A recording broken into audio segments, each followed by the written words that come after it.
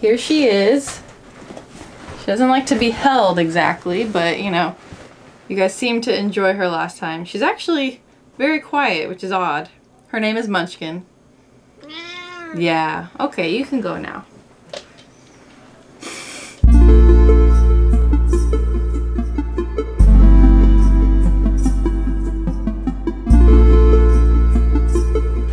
Hello and welcome to Craft Quest. I'm My Lady Sprout or Gabby, and we're doing another one from my home. We are all still under quarantine, so this is where we'll be doing it. It's a little bit different from where we were before. I've spruced things up, made things a little bit nicer, so hopefully this will work out. Since everyone's at home, or should be at least, then we're gonna be making something that is very comforting and nice to have when you're at home. We're gonna be making a pillow. I'm gonna be making a Pantheon pillow today, specifically a Japanese Pantheon pillow. I chose to do Japanese Pantheon because it is a simple icon, well, simpler than the other icons for Pantheons. Also, I just happen to have red fabric, so I gotta work with what I've got.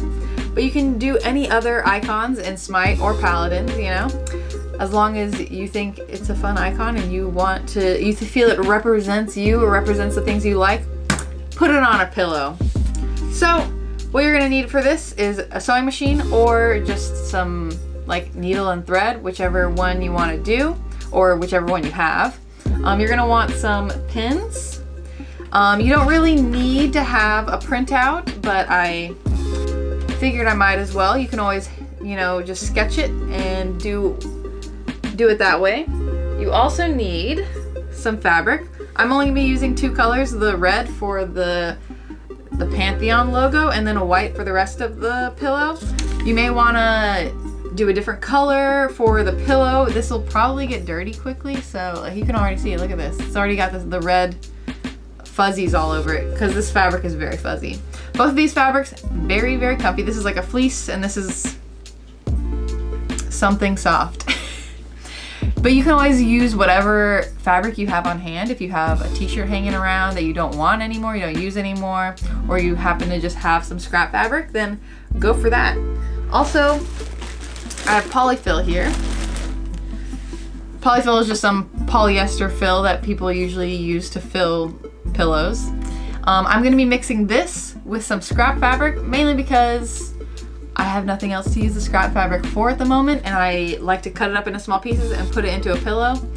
You can choose to do all scrap fabric if that's what you have and you don't have this, um, but I like to mix it. It adds a, a good amount of comfy to the pillow. Um, or you can have even like take an old pillow that you have that you don't like and take the stuffing from that and put it into this one since you'll uh, you'll hopefully like this or you can just make the outside of the pillow and wrap your old pillow with the fabric that we're doing here. You've got lots of options. So let's just get on into it then. So what I'm gonna be doing first is I'm gonna be folding out the white fabric we have here and seeing what a good size for the base of the pillow will be. So, whoop, taking this along with me. And if I put the printout or whatever drawing you have on here, then I do want the pillow to be a square versus a rectangle, but you can you can do how you can even do a circle if you want, but I'm going to be doing a square. And I feel like it would be good to do the, these outside edges right here, basically do it the width of the paper because the pillow will kind of go like this when you fill it. So don't try and put it too, too close to these edges just because, you know, then you won't see as much of the, the icon when it kind of goes like that, you know, when it gets fluffed up. So if you fluff it up this way, then it's, you know, still mostly visible. And also, make sure you put seam allowance. Seam allowance is basically adding just about uh, half an inch to the side of everything you're cutting, mainly because when you then sew down into it and you flip it, then all of those edges that you sewed will go away into the pillow. So that's what a seam allowance is an allowance of measurement for your seams. Sewing tip.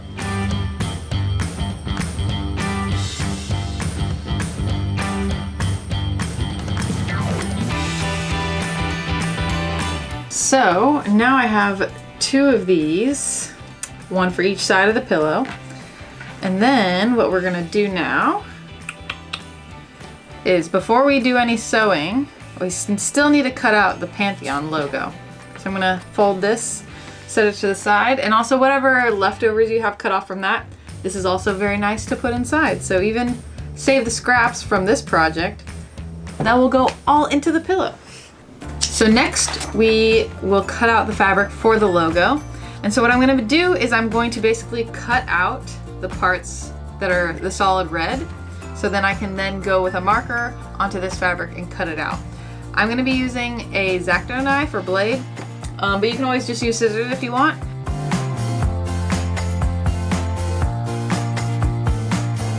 So I know I said that this design was simple, but I simplified it even more. Um, this is just gonna hang out here. Um, but there was a red line right under there, as you can see.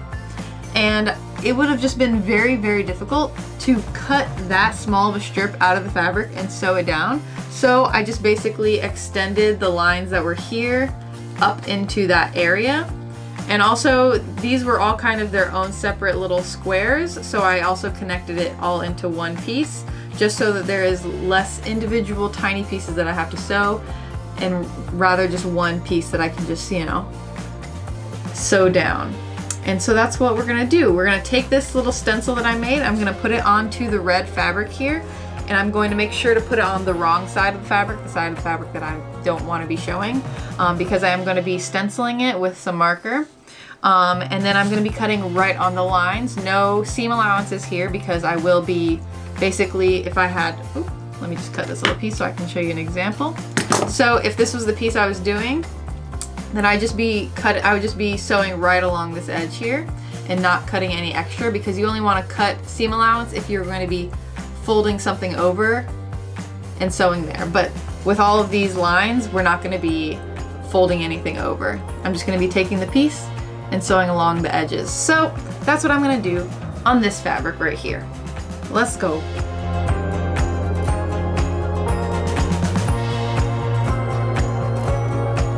So now that I have this all cut out, I also had to, you know, get all the little fuzzies off because there are a lot of fuzzies when you cut fabric like this. So I had to get those off so then it won't jam up my sewing machine or anything like that or get in my way if I want to hand sew it. But not all fabric's going to do that. It's just this fabric that I am particularly using. And so now that I have that, I chose one of the panels of my sides of my pillow, you know? So this one. And I'm going to put this little design here onto this and I'm gonna pin it down on the side that I want it to be and then I'm gonna sew it. So you can choose to hand sew it with a just a needle and thread if you want, or if you want to go a little bit faster, you can use a sewing machine. It will still take a little while on the sewing machine because this is very detailed and like tiny little lines, very particular, you know, angles and stuff, but it will go a little faster. So I'm gonna go ahead and pin this down here so then I can get to sewing. Also one thing I did mean to mention is when you are using whatever Pantheon you want to use, if it's not identical on both sides, then you're going to want to flip it and trace it. So then it, you know, when you flip it back to the right side to sew it on, then it'll be the right direction. But I think a lot of the Pantheons and a lot of the icons we have are, um, you know, what's that word? Parallel? Not parallel you know, the same on both sides if you cut it down the middle. So thankfully this was. And now I'm placing it and when you're placing it down, try to center it as best as possible onto the piece because you're gonna be sewing it down in the middle, hopefully. So, you know, just take your time to really figure out where the center is before you sew everything down.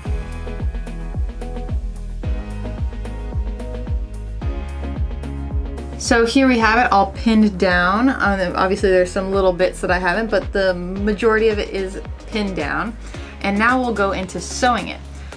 If you're gonna be using your sewing machine, then I would recommend using a basting stitch. And a basting stitch is basically when you go into the needle and thread by hand, very loosely, um, just to keep things in place because as you take out the pins, then stuff can shift around a little bit, but with a basting stitch in, then it won't move around. And um, the basting stitch is basically something that is meant to be taken out later once you get the more secure stitching down with the sewing machine. But if you're just doing the whole thing by hand, then I think you're gonna be fine with just keeping the pins in. Now I'm gonna go through with a basting stitch, which is just a very loose stitch that I can then basically just pull right out if I once I'm done with it. And I've done it right here on this little one here, so you can see the little ends here that I'll be pulling out once, you know, I'm done sewing around. And I'm gonna go ahead and do that for all of them and then use my sewing machine to really hold it all down.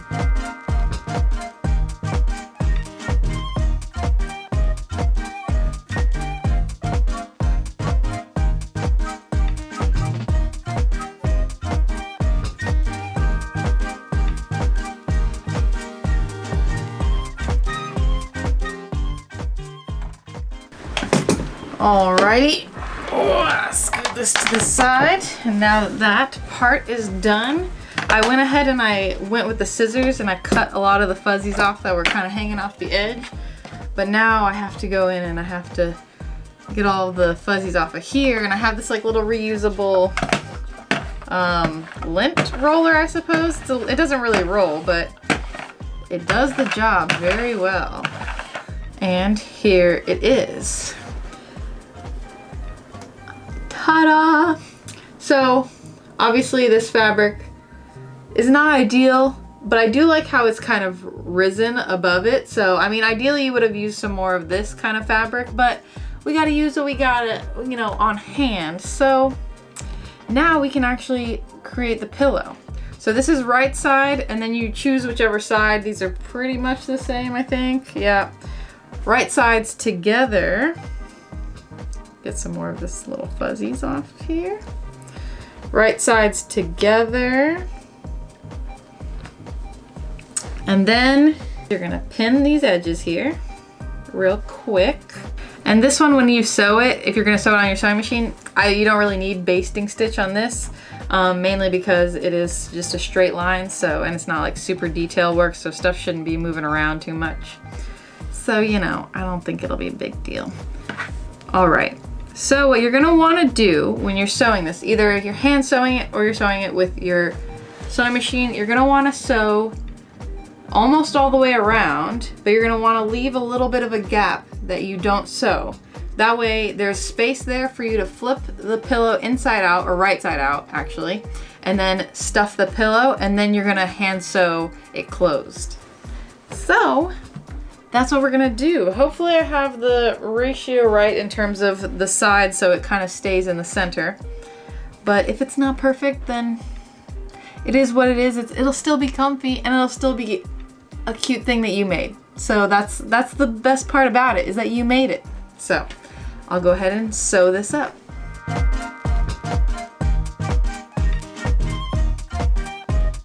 All right, so now that I have done all the edges here, I can flip it inside out. Let me also cut these little excess threads here.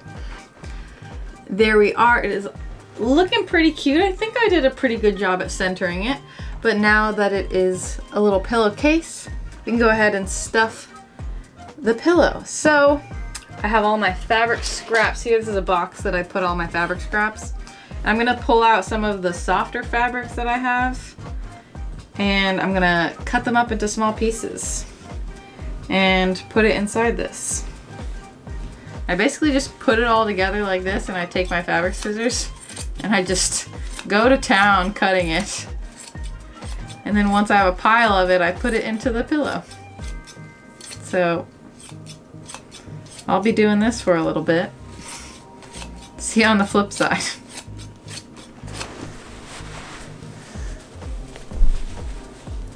So I ended up filling this up a little bit more than halfway with uh, not even a little bit of a dent really into all of this.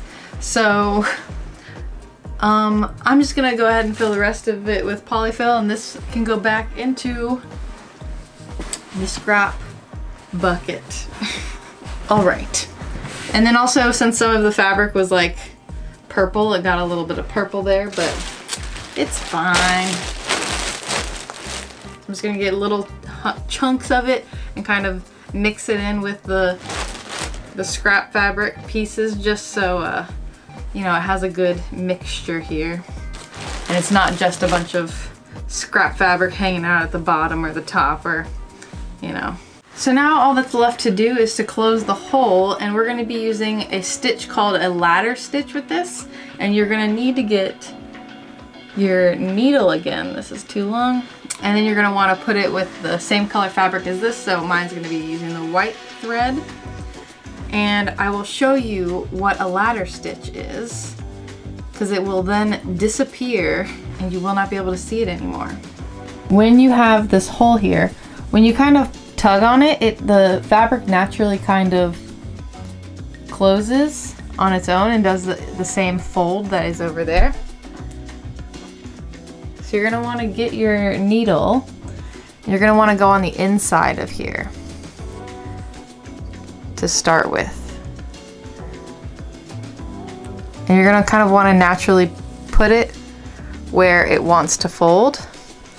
And then what you're gonna do is you're gonna do like a ladder and come across to the other side.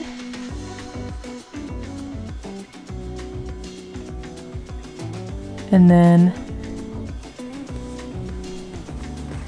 go in and out on that side. Then come to the other side. Do the same thing.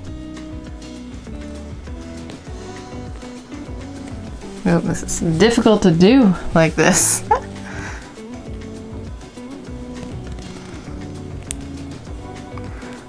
You're not going to want to put too much space between them, so there's that. And then as you tighten it, it pulls it together like that. So I'll go ahead and do a ladder stitch here. I'll do it loosely so then I can tug on it so you guys can see as it disappears.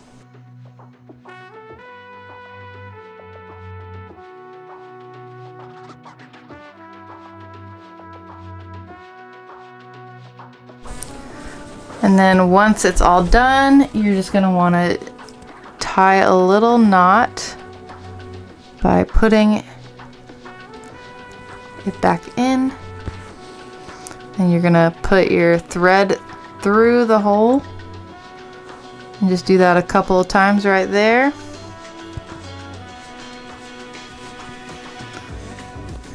To create a good knot.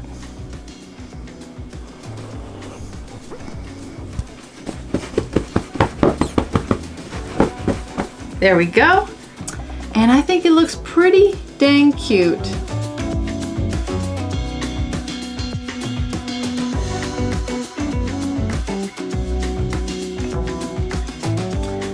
It's soft and I would definitely sleep on it. So I would say this is a success and I really hope that you guys try it at home and it's a success for you guys. Even if you guys don't do a little, you know, icon on it and you just want to make a little pillow, just give your sewing skills a good shot. Then I'd love to see it. Make sure to tweet it at me or you just have some ideas for your next, you know, craft quest. That would be great. Preferably things I can do at home because I think that the next one might be at my house too. I hope you guys enjoyed. I'll see you guys on the next one.